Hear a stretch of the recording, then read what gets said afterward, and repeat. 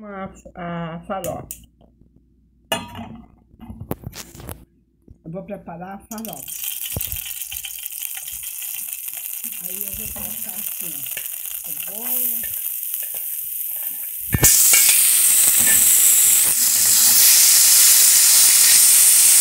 Então, aqui é cebola e mortadela. Agora eu vou colocar aqui também tomatinho natural, que é colhido aqui em casa mesmo colocar os tomatinhos, mortadela, é, cebola. Em seguida, eu vou colocar a farofa. Aqui a gente usa a farofa pronta. Você pode usar a que você tiver aí.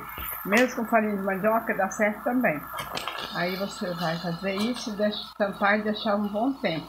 Fica uma farofa boa e muito gostosa. Você pode também colocar pimenta biquinho.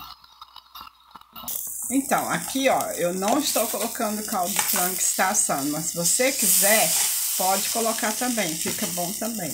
Mas aqui eu vou fazer só assim mesmo, com tomate natural, coído aqui mesmo, cebola, mortadela, a farinha pronta. Pode fazer com farinha de mandioca comum, fica muito bom também.